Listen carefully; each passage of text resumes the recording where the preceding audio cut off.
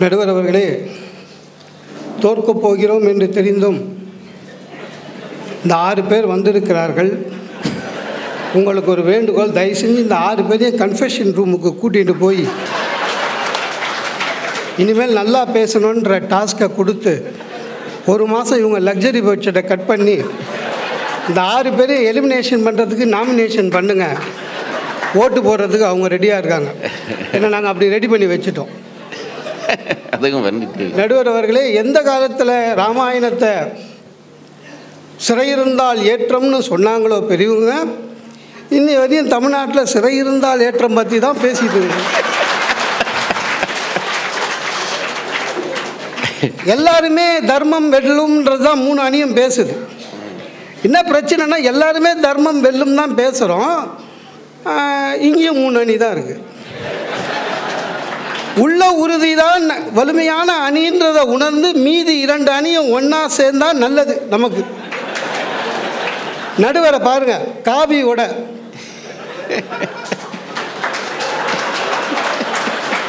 அப்புறம் அவர் இஷ்டத்துக்கு எந்த அணி பிடிக்குதோ அதை ஜெயிச்சு வச்சிருவாரு.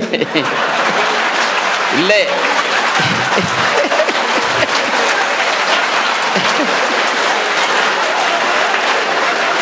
அப்படியா இருந்தா கூட அப்புறம் அப்புறம் அப்படியா- அதை தான் தர்மம்னு வேற சொல்லுவார். இல்ல அப்படியா இருந்தா கூட எனக்கு உங்களை தான் பிடிக்கும். நீங்க தான் கிட்டத்தட்ட காவியோட ஒத்து வர்றீங்க. நடுவர் அவர்களே நல்ல ஒரு தலைப்பு. ஒன்றும் இல்லைங்க இது. இ- குடும்பம்ங்கிற இல்லறம் நடத்துறதுக்கே எதுங்க அவசியம்? சாதாரணமாக உடல் வலிமையா? வன்கொடுமைன்னு உள்ளே போட்டுருவோம். அறிவுத்திறனா? அறிவு இருந்தால் கல்யாணம் பண்ணிப்போமா?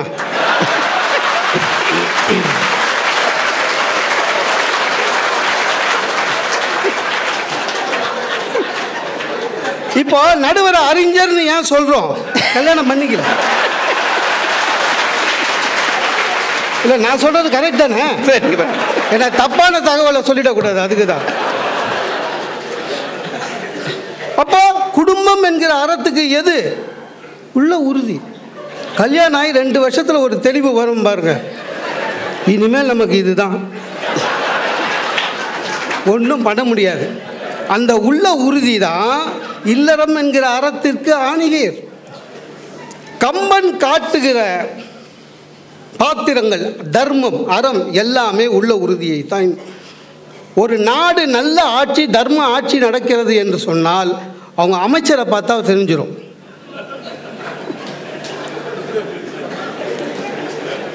ஏன்னா தசரதனுடைய அமைச்சர்களை கம்பன் சொல்லுகிறான். அவர்கள் உடல் உறுதி உள்ளவர்கள்.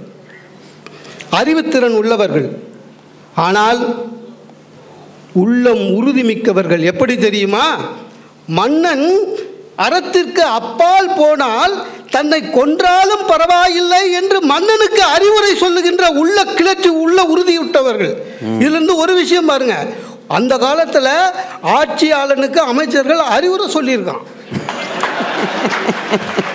இன்னொன்று அறிவுரை சொல்கிற அளவுக்கு அமைச்சர் அறிவாளியாக இருந்திருக்கான்.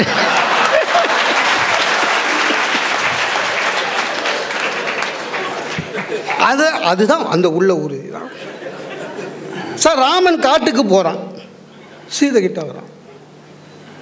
நான் வரேன்றான். நானும் வருவேன்றான். இல்லை வேண்டாம். காடு கஷ்டம். உன் உடல் தாங்காது. எனக்கு தெரியும் என் அறிவு சொல்லுது. நீ இங்கேயே இரு. சீதை சொல்லுகிறாள் துன்பப்பட்டாலும் பரவாயில்லை. எனக்கு உள்ள உறுதி இருக்கிறது உடன் வருகிறேன். நின் பிரிவினும் சுடுமோ பெருங்காடு? என்று கேட்கிறாள். இந்த பெரியவங்களெல்லாம் லேடிஸ் கிட்ட எப்போ பார் சுந்தரகாண்டம் படிங்க அப்படின்னு சொல்லக்கூடாது. இதெல்லாம் சொல்லி கொடுக்கணும். ஆமாங்க சொந்தக்காரன் கல்யாணம் ஒய்ஃப் கிட்ட வரியான்னு. நீங்கள் போயிட்டு வாங்கண்ணா. இல்லைம்மா நான் சும்மா இருக்கக்கூடாதா? ராமன் இருக்கிற இடத்துல தானே ராமன் இருக்கிற இடம் தானே சீதைக்கு அயோத்தின்னு. அவ எப்பவுமே சிரிப்புங்க நீங்கள் ராமருக்கு அயோத்தியில் இடம் இல்லையா? நீங்கள் என்ன இவ்வளோ பேசுறீங்கண்ணா?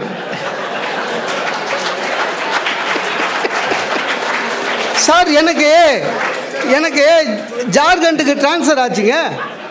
ஜார்க்கண்டுக்கு ட்ரான்ஸ்ஃபர் ஆச்சு. வீட்டுக்கு வந்தேன். எனக்கு ஜார்க்கண்டுக்கு ட்ரான்ஸ்ஃபர் ஆயிடுச்சுன்னு. பரவாயில்ல பரவாயில்லண்ணா உங்களுக்கு சம்பளம் வந்தோன்னே எனக்கு போட்டுருங்கண்ணா இல்லைம்மா ஜார்க்கண்டுன்னு. நீங்கள் பார்க்காத இடங்க. அவளுக்கு என்னென்னா ட்ரான்ஸ்ஃபர் பண்ணது பிடிக்கலன்னு நான் வேலையை விட்டுற போகிறேன்னு என்னை மோட்டிவேட் பண்ணுறான் நீ பார்க்காத இடம். ஜார்க்கண்டு நல்ல இடம் நல்லாலாம் இருக்குது அப்படின்னா. நான் சொன்னேன் ஹிந்தி தெரியாதாம்மான்னு. இப்போ என்னங்க கஷ்டம் ஹிந்தி தெரியலன்னா? அவோ உடுப்பி ஹோட்டல் போய் பாருங்கள் பீகார் அஜாம்லேருந்து எவ்வளோ பையனுங்க சர்வராக வேலை செய்கிறானுங்கண்ணா யார் கூட நம்மளை கனெக்ட் பண்ணுறா பாருங்கள் நான் இத்தனைக்கும் எம்பிஏ படிச்சிருக்கிறேன். இது சீதை. ஒரு அவன் காட்டுகிற பெண்ணுடைய உள்ள உறுதி குடும்பத்துடைய உள்ள உறுதி கோசலை இன்னும் ஒரு படி மேலே. ராமன் வந்து சொல்லிட்டான் காட்டுக்கு போறேன்னு. அவன் சொல்கிறா பரது நல்லவன் அதெல்லாம் சொல்கிறா இருந்தாலும் தாய் இல்லையா? தன் மகன் காட்டுக்கு போகிறானே என்ற கவலை அவளுக்கு இருந்தது. சரி ஒன்று செய்வோம். போய் தசர அவன் யோசிக்கிறான். தசரதங்கிட்ட போய் இந்த கைகை ஒரு வரம் கேட்டான். சரியா? நம்மளும் போய் ஒரு வரம் கேட்போம். நம்மளும் ஒய்ஃபு தானே? இப்போ தசரதன்கிட்ட என்ன வீக்னஸ்லாம் லேடிஸ் யார் போய் கேட்டாலும் வரம் கொடுத்துருவான். சரி நம்மளும் போய் கேட்கலான்னு நினைச்சா நினைச்சவ என்ன நினைச்சா? அரசன் தோற்றான் மெய் என்று உலகம் சொல்லும் பழிக்கு சோர்வாள். நம்ம போய் கேட்டு அவனை இருதலை கொள்ளி எறும்ப ஆக்கக்கூடாது நமக்கு ஏதாவது ஓகே சொல்லிட்டானா அவன் தப்பு பண்ணிடுவான். அதனால நிறுத்திடுவோம். சார் தான் கஷ்டப்பட்டாலும் பரவாயில்லை தன் மகன் கஷ்டப்பட்டாலும் பரவாயில்லை தன் கணவன் நல்லவ நல்லா இருக்கணும்னு நினைச்சா பாருங்க. அவ ஒய்ஃபு கோசலை. எந்த அறமாக இருந்தாலும் உள்ள உறுதி தான் தம்பி பேசுனார் நல்லா பேசினார். வில்லாற்றல் நல்லா பேசினார். ஒரு சின்ன உதாரணம் ஒரு போலீஸ்காரங்க டீ கடை வாசலில் சைக்கிளை வச்சுட்டு டீ குடிச்சு வந்தான். வந்து பார்க்குறான் அவன் சைக்கிளே இவனை தூக்கின்னு போயிட்டான். டென்ஷன் ஆயிட்டான். ஒரு போலீஸ்காரன் சைக்கிளை தூக்கிட்டு போயிட்டானே டீ கடைக்காரனை பார்த்து கேட்டான். என் சைக்கிள் இங்கே விட்டுருந்தேனே பார்த்தியாண்ணா அவன் விடு சார் வேறு எடுத்துக்கலாம் அப்படின்னா. வேறு வாங்கிக்கலாம்ல வேறு எடுத்துக்கலான்னு. சைக்கிள் போனது கூட போலீஸ்காரனுக்கு கஷ்டம் இல்லை சார் அந்த சைக்கிளில் அவங்க சைக்கிளில் ஒரு சைடு பாக்ஸ் வச்சுருப்பாங்க. கொஞ்ச நேரத்துக்கு முன்னால் தான் பழ வண்டிக்காரனை மிரட்டி பத்து மாம்பழம் உள்ளே போட்டுருந்தான். அத்தோடு தூக்கி போயிட்டான் அவன். அதுதான் அவனுக்கு டென்ஷனு ரெண்டே நாள் கண்டுபிடிச்சான் அவனை. கண்டுபிடிச்சிட்டு அவனை பிடிச்சிட்டுண்டா என்ன தைரியம்தான் போலீஸ்காரன் சைக்கிளையே நீ திருடுவேன். தெரியாமல் திருடிட்டேன் சார் நான். சைடில் இவ்வளோ பெரிய பாக்ஸ் இருக்கவனுமே தெரியவான் அவன் உனக்கு போலீஸ்காரன் வண்டின்னு அப்படின்னு அதுக்கப்புறம் ஒரு கேள்வி கேட்டான். அதை விடு சைக்கிள் திருந்ததை கூட விடு. அந்த பாக்ஸில் ஒரு பத்து மாம்பழம் வச்சுருந்தேன். அதை என்ன பண்ணேன் நான் அவன் சொன்னான் இல்லைங்க பார்த்தேன் வீட்டுக்கு போயிட்டு மாம்பழம் உனக்கு பிடிக்குமேன்னு ஆசையாக வாங்கிட்டு வந்தேன்னு ஒய்ஃபு கிட்ட கொடுத்தேங்க. நான் போலீஸ்காரன் அதே வசனத்தை தான் அவன் ஒய்ஃபு கிட்ட சொல்லலான்னு நினச்சின்னு இருந்தான். சார் இப்போ அந்த போலீஸ்காரன் அந்த அந்த ஆளை என்ன கொடுமை பண்ணியிருப்பான்னு மன உங்களுக்கு மனசாட்சிக்கு விடுறேன். ஆனால் ஒரு சாதாரண காவலனே இப்படி இருக்கிறான். உலகை காக்க வந்த பெருமான் தன்னுடைய மனைவியை கூட்டிச் சென்று எதிரிலே நிற்கிற ராவணனிடம் ஒன்றுமே இல்லை. ஒரு ஒரு ஆயுதமும் இல்லாமல் நிராயுதபாணியாக நிற்கிறான். போட்டு தூக்கி அடித்து முடிக்க வேணவா கதையை. இன்று போய் நாளை வா என்கிறான். அதுதான் கம்பன் சொன்னது. என்ன தெரியுமா? அறம் என்பது அறத்தின் வழியே வெல்ல வேண்டும் என்பதுதான் கம்பன் காட்டிய கதை. இதைத்தான் நாங்கள் உறுதியாக சொல்லுகிறோம். இது பரவாயில்லை. ஒரு வார்த்தை சொன்ன சொல்ல காப்பாற்றும் இந்த தசரதன் மாதிரி பாவம் யாருமே இல்லை. மனைவி சத்தியம் கேட்குறான் சார் மனைவி சத்தியம் கேட்டால் கொடுக்கலாமா சார்? அறுபதாயிரம் கல்யாணம் பண்ணி என்ன பிரயோஜனம்? எக்ஸ்பீரியன்ஸ் இல்லை. இப்போ நம்ம யாராவது சட்டுன்னு எஸ்ன்னு சொல்கிறோமா இல்லை. தமிழில் எவ்வளோ நல்ல வார்த்தை இருக்கு. ஏதாவது கேட்டால் கூட ஆவட்டம் பார்க்கலான்னு. இந்த ஆவட்டம் பார்க்கலான்றது முடிஞ்ச கதைன்னு அர்த்தம். இப்போ என் ஒய்ஃப் தெளிவாயிட்டான் இந்த நான் உனக்கு கேட்பேன் ஆவட்டம் பார்க்கலான்னு சொல்லக்கூடாது. கேட்டால் சரி பண்ணிட்டா போச்சுன்னு. தமிழில் வேறு வேறு வார்த்தை இருக்குது கைகை வரம் கேட்கிறாள். இவன் என்ன பண்ணியிருக்கணும் கைகை வரம் கேட்கிறா இவன் என்ன பண்ணியிருக்கணும் ஏற்கனவே டிக்ளேர் பண்ணிட்டு வேண்டாம் ராமன் தான் அரசன். இவன் என்ன நியாயமாக பண்ணியிருக்கணும் உடல் வலிமை மிக்கவன். தைரது கைகையை ஒன்று போட்டு அரண்மனை வைத்தியனை கூப்பிட்டு ஒரு நாற்பத்தஞ்சு நாள் யாருக்கும் தெரியாமல் வைத்தியம் பண்ணு.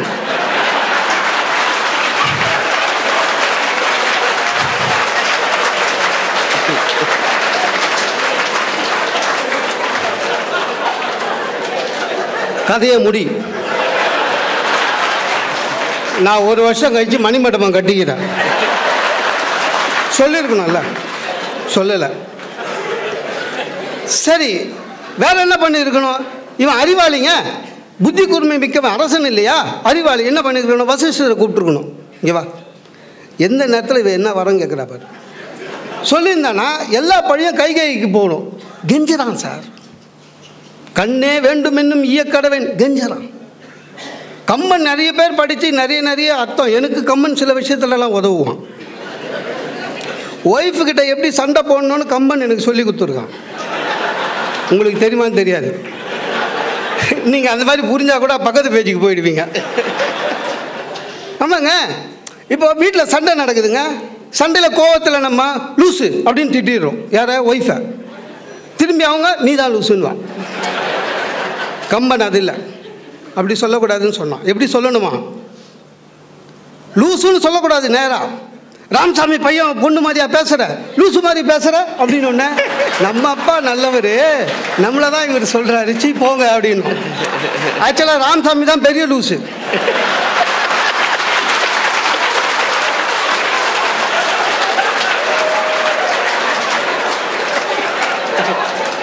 இதில் பாருங்க இதில் பாருங்க இவன் திடீர்னு கெஞ்சிக்கிட்டே வந்து பெண்ணே அப்படின்றான். யாரு? தசரதன் கைகை பெண்ணுன்னு அன்னைக்கு தான் தெரியுமா? கைகைக்கு தான் பெண்ணுன்னு தெரியாதா? பெண்ணே வன்மை கேகையன் மானே என்னது? ராமசாமி பொண்ணேன்ற மாதிரி.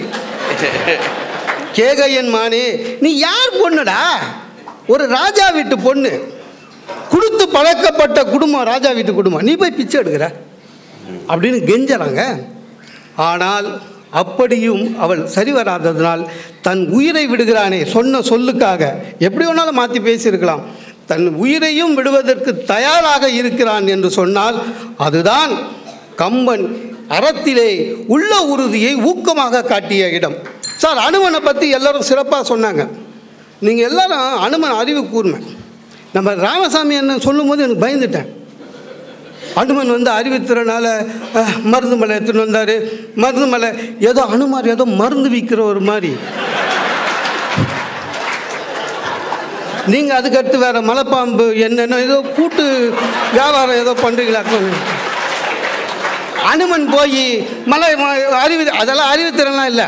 சொல்லி அனுப்புகிறாங்க போய் எடுத்துன்னு வாங்க இல்லை அப்படி தானே சொல்லி தான் அனுப்பிச்சாங்க அங்கே போய் எடுத்துன்னு வாங்க முதல்ல கடல் தாவத்துக்கு சொல்லி தான் கொடுத்தாங்க. அனுமன் நீங்கள் ஒன்று பார்க்கணும். இலங்கையை சுற்றி வருகிறான் மண்டோதரியை முதல்ல பார்க்குறான். சீதையோ நினைக்கிறான். அப்புறம் இல்லை அண்ணா. திடீர்னு அவனே நினைக்கிறாங்க என்ன? இந்த ராவணை வந்து நம்ம நம்முடைய தெய்வத்துக்கு தெரியாமல் மனைவியை எடுத்துகிட்டு வந்த மாதிரி நாமளும் இங்கேருந்து மண்டோதரியை தூக்கிட்டு போயிடலாமான்னு. நினைக்கிறேன்னா சரியா சொல்கிறேன்னா அதையும் விடுங்க. கடைசியில் சீதையிடம் கேட்கிறான் நீங்கள் என்னுடைய முதுகில் உட்கார்ந்து கொள்ளுங்கள் நான் உங்களை கூட்டிக் கொண்டு செல்கிறேன்னு. எங்கள் அணில கூட சொன்னாங்க. அப்போது சீதை சொன்னது என் சொல்லி நான் சுடுவேன் அதெல்லாம் வேற. சீதை சொன்னது எது தெரியுமா?